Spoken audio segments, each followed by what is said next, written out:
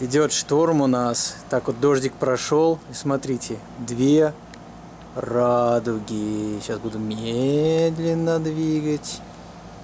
Такая красота. Вон там конец радуги. Туда надо идти. Кому-то прям на машину опустился. Там даже на дом. Ага. Вот туда надо. Так красиво.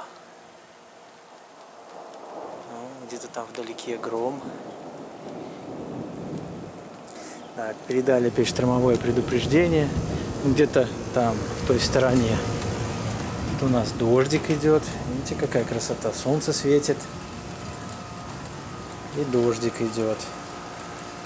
Это сухо было последнюю неделю. Надо дождик, чтобы немного хоть траву помочил.